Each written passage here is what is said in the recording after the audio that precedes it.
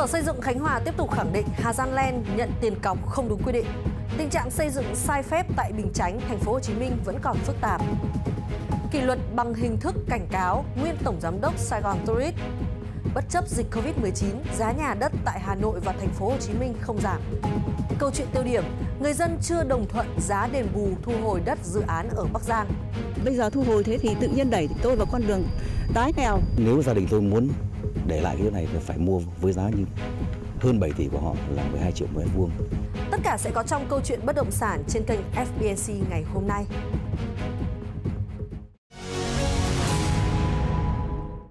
Phương Thúy xin kính chào quý vị khán giả. Quý vị đang theo dõi bản tin câu chuyện bất động sản và sau đây sẽ là phần tin chi tiết. Thưa quý vị, liên quan đến việc công ty cổ phần bất động sản Hà Quang, Hà Quang Len thu tiền đặt cọc dự án nhà ở xã hội HQS mà FBNC từng phản ánh, công ty này mới đây cũng có văn bản phản bác lại khẳng định mình không sai. Sau phản ứng của doanh nghiệp này, ngày 6 tháng 8, Sở Xây dựng Khánh Hòa tiếp tục có văn bản khẳng định một lần nữa việc thu tiền đặt cọc là không đúng theo quy định của pháp luật. Trong văn bản số 2430, Sở Xây dựng Khánh Hòa khẳng định việc mua bán nhà ở xã hội khác với việc mua bán các loại bất động sản khác, nên việc Hà Quang Len so sánh việc thu cọc của dự án nhà ở xã hội của mình với dự án sân bay Park Hotel and Resort Ninh Thuận là không đúng. Theo Phó Giám đốc Sở Xây dựng Khánh Hòa Trần Nam Bình, việc mua bán nhà ở xã hội phải tuân theo quy định tại Điều 20 Nghị định 100 năm 2015 của Chính phủ. Trong trình tự thủ tục này, từ khi chủ đầu tư khởi công dự án cho đến khi ký hợp đồng mua bán nhà ở xã hội, không có bước nhận tiền cọc của khách hàng đủ điều kiện mua nhà ở xã hội. Trước đó, Sở Xây dựng đã có văn bản đề nghị Hào Quang lan chấm dứt mọi hành động huy động vốn trái phép tại dự án nhà ở xã hội HQS cho đến khi dự án đủ điều kiện mới được phép đưa vào kinh doanh. Theo đánh giá của Sở Xây dựng Thành phố Hồ Chí Minh, dù số vụ vi phạm trật tự xây dựng tại huyện Bình Chánh có giảm, nhưng tình trạng xây dựng sai phép, không phép tại đây vẫn còn phức tạp. Trong 7 tháng đầu năm 2020, huyện Bình Chánh có 39 vụ vi phạm trật tự xây dựng, đứng sau quận 9 là 70 vụ và Thủ Đức là 61 vụ.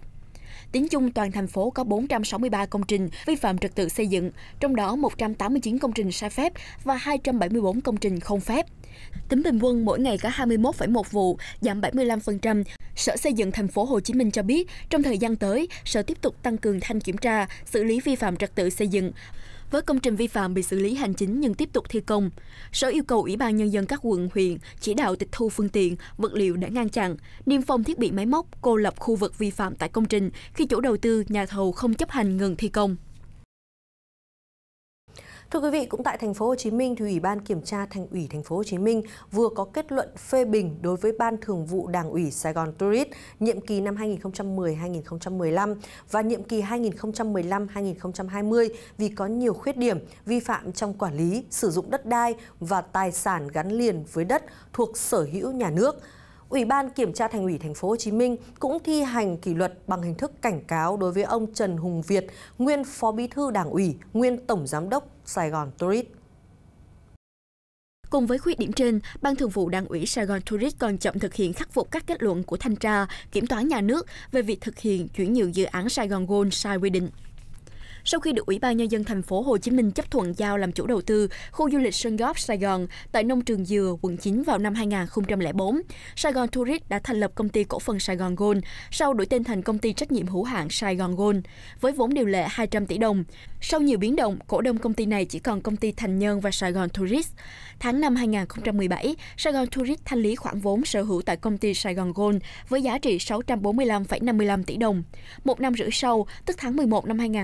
2018, hai công ty này lại ký thỏa thuận hủy hợp đồng chuyển nhượng vốn, đã hoàn tất chuyển nhượng trong năm 2017. Ủy ban nhân dân thành phố Hồ Chí Minh sau đó đã ra các quyết định hành chính liên quan đến việc thu hồi khu đất nông trường dừa, hủy bỏ văn bản chấp thuận việc thoái vốn của Sài Gòn Tourist năm 2017, đồng thời báo cáo thanh tra chính phủ về việc khắc phục, xử lý sai phạm tại dự án.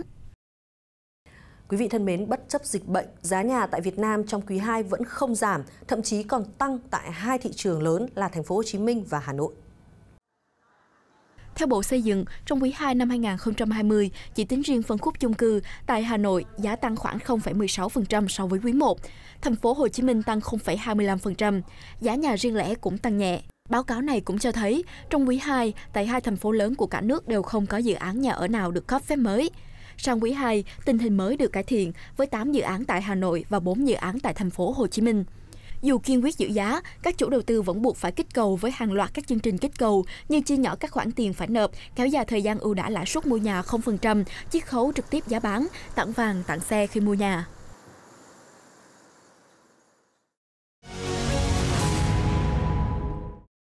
Thưa quý vị, những năm trước đây thì Ủy ban Nhân dân huyện Lục Ngạn, tỉnh Bắc Giang đã thực hiện đầu tư dự án xây dựng hạ tầng kỹ thuật và khu dân cư đường Lê Duẩn kéo dài. Tuy nhiên, trong quá trình thu hồi nhiều diện đất vườn, đất ruộng để thực hiện các hạng mục chia lô bán đấu giá, người dân cho rằng việc áp giá đền bù theo khung hiện nay là quá thấp, trong khi nếu muốn mua lại thì họ phải bỏ ra một số tiền gấp tới hàng chục lần số tiền được đền bù. Phản ánh tại Bắc Giang. Đây là toàn bộ khu đất của dự án xây dựng hạ tầng kỹ thuật và khu dân cư đường Lê Dũng kéo dài, thị trấn Chấn Chủ, huyện Lục Ngạn. Để thực hiện dự án này, Ủy ban Nhân dân huyện Lục Ngạn đã tiến hành thu hồi 1.700 m đất vườn của gia đình ông Lương Đình Thắng, với mức giá đền bù là 221.000 đồng một mét vuông. Về cơ bản, cá nhân ông và gia đình đều nhất trí khi thu hồi để thực hiện các hạng mục hạ tầng như đường giao thông và các công trình phụ trợ khác tại dự án. Riêng đối với khu đất có diện tích 600 m2 thu hồi để chia lô bán nền biệt thự, nếu quy chung cùng một mức đền bù như trên thì gia đình ông cảm thấy rất bức xúc. Gia đình là, là, là rất không đồng tình ở chỗ là cái giá mà người ta bán thành hai lô biệt thự, lô 07 và lô 08, một lô là 325 nghìn, à 325 mét vuông và một lô là 265 mét vuông. Người ta đang niêm yết với giá bán khởi điểm không thông qua đấu giá là 12 triệu một mét vuông mà người ta uh, nói nếu gia đình tôi muốn để lại cái chỗ này thì phải mua với giá như hơn 7 tỷ của họ là 12 triệu mét vuông. Trong khi đó người ta chỉ trả cho chúng tôi có 221 nghìn, cộng hỗ trợ thành 372 nghìn. Thắc mắc về việc áp giá bồi thường có tính chất cao bằng, ông Thắng đã nhiều lần gửi đơn khiếu nại đến Ủy ban Nhân dân huyện Lục Ngạn, Ủy ban Nhân dân tỉnh Bắc Giang, Ban dân nguyện của Quốc hội và nhiều cơ quan trung ương khác để được xem xét giải quyết mức đền bù phù hợp. Tuy nhiên, quá trình áp giá đền bù đối với gia đình ông được Ủy ban Nhân dân huyện Lục Ngạn, đồng thời là chủ đầu tư dự án cho rằng việc đền bù tại đây đã thực hiện đúng theo các quy định. Tôi cũng đã cho giả soát lại thì cái việc thực hiện cái cái chính sách đền bù là đúng theo tất cả quy định của nhà nước và các quy định của địa phương. Tuy nhiên là các hộ dân vẫn chưa đồng thuận thì hiện nay chúng tôi đang uh, xem xét và đã uh, vừa làm văn bản gửi các sở chuyên ngành của tỉnh cũng như ủy ban nhân tỉnh đấy, và xin ý kiến chỉ đạo. Mặc dù vậy, bóc tách nhiều nội dung theo hồ sơ đất đai, ứng với phương án bồi thường áp dụng cho gia đình ông Thắng, luật sư Lâm Văn Hoàng công ty luật hợp danh dân chính cho rằng có cơ sở khẳng định việc áp giá đền bù cho gia đình ông là chưa đúng theo quy định của luật đất đai và cần phải được các cơ quan chức năng tỉnh Bắc Giang xem xét lại theo đúng quy định. Theo quy định của Điều 144 và 143 44 của đất đai thì đất vườn liền kề được coi là đất ở. Và khi nhà nước thu hồi đất chỉ xem xét bồi thường cho gia đình ông Thắng theo đất ở, mục đích là đất ở thì mới đảm bảo quyền lợi. Tuy nhiên ở vụ việc này thì cái quá trình thực hiện uh, phê duyệt phương án bồi thường uh, đền bù giải phóng mặt bằng ấy thì ủy ban huyện Lục Ngạn lại áp dụng đất của ông Thắng là đất trồng cây lâu năm. Do vậy, vấn đề này ủy ban nhân dân huyện Lục Ngạn cần phải xem xét lại và giải quyết quyền lợi cho ông Thắng. Tại dự án nêu trên, hiện còn một số gia đình có đơn yêu cầu Ủy ban Nhân dân huyện Lục Ngạn xem xét lại cách đền bù. Trong đó có trường hợp thu hồi đất của bà Mùi. Cụ thể, bà Mùi bị thu hồi toàn bộ số đất có diện tích trên 2.400 m2, được bố và anh trai ruột cho tặng. Đất có nguồn gốc là đất trồng lúa. Hiện trạng hiện nay được sử dụng là đất trồng vải cho thu nhập vài chục triệu đồng một năm có công trình nhà ở và công trình phục vụ nhu cầu sinh hoạt. Tuy nhiên, do có nguồn gốc là đất lúa nên chỉ được đền bù với mức giá 208.000 đồng một mét vuông. Theo bà, nếu nhận đền bù thì bà Mùi chỉ đủ tiền mua đất mà không có tiền xây nhà, hoặc chỉ có tiền xây nhà mà không có tiền mua đất. Một mình tôi thì đã phải làm nụng suốt ngày đêm, còn phải vay mượn thêm mới làm được lên những cái công, công trình cơ sở tu tạo được vườn cây để có cái nguồn thu nhập ổn định cuộc sống. Như bây giờ mà bây giờ thu hồi thế thì tự nhiên đẩy tôi vào con đường tái nghèo. Mà bây giờ tôi thì ừ, không có nghề nghiệp gì nữa chỉ sống bằng cây cối như vậy, từ một dự án có mục tiêu là phát triển kinh tế xã hội, nâng cao chất lượng đời sống của người dân, nhưng khi đi vào áp dụng trong thực tế là phát sinh nhiều vấn đề. Đặc biệt là phương án đền bù được người dân cho là chưa thỏa đáng và chưa tuân thủ đúng quy định của pháp luật liên quan, phát sinh huệ lụy đơn thư khiếu nại kéo dài.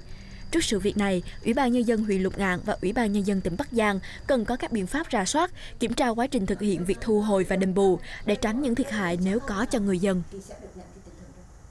Thưa quý vị, mọi ý kiến đóng góp, thắc mắc pháp lý cũng như bất kỳ phản ánh nào liên quan đến lĩnh vực địa ốc bất động sản thì mời quý vị gửi về cho ban biên tập FBNC qua email ban biên tập a fbnc.vn. Chúng tôi sẽ gửi những thắc mắc của quý vị đến các chuyên gia, luật sư và sẽ giải đáp ở các bản tin tiếp theo. Còn bây giờ thì xin chào và hẹn gặp lại quý vị ở những bản tin sau.